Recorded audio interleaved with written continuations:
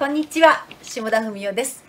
カラフル玉手箱のねその中身をちょっとだけ教えてあげる。もうこれでね興味を持ってほしいのもうおすすめのものばっかりなのでね。最初はこちら。石橋甘納。豆の釜炊き手作り甘納豆きなこなんですよね。この石橋甘納豆さんは福岡県久留米市の1950年創業の老舗なんですよね。今3代目が一生懸命仕事してこの美味しい美味しい甘納豆を毎日作ってらっしゃるんですけれどもこちらできるまでに3日から5日もかかるんですよ。お休みなく働いていらっしゃるんですね。まああの伝統のその釜炊きでね作っているんです。で私あの試食しちゃおうかな。チョキチョキチョキチョキチョキチョキ。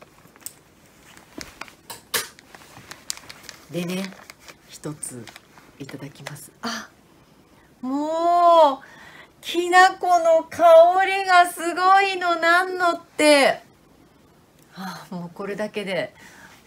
緑茶？ワイン？何杯でも飲めそう。一つね味見しますよ。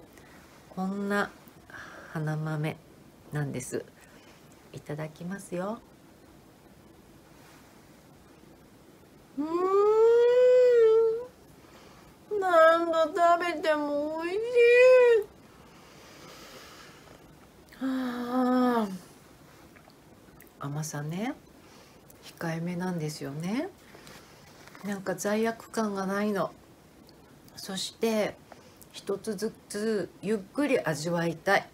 で何でしょう満足感もね高い。一つ二つ食べてもう本当にねなんかもうスイーツ食後のねデザートいただいたって感じなんです。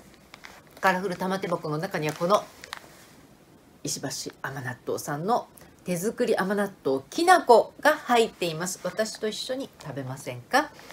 詳しくはですねチゲットで検索してください。ここでチケットチゲットでチケットを買うようになっています。